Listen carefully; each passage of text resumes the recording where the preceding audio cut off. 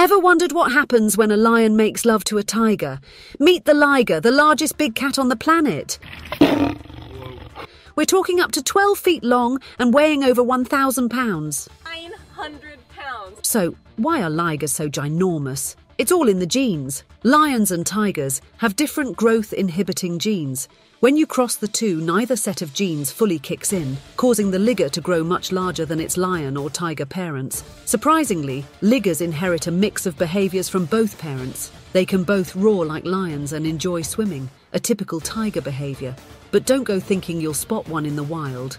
Ligers only happen in captivity, where lions and tigers are brought together. In nature, they inhabit different continents, and even if they did meet, they're not likely to make a liger. So next time someone tells you unicorns are the coolest mythical creature, remind them that ligers are real, gigantic, and absolutely majestic.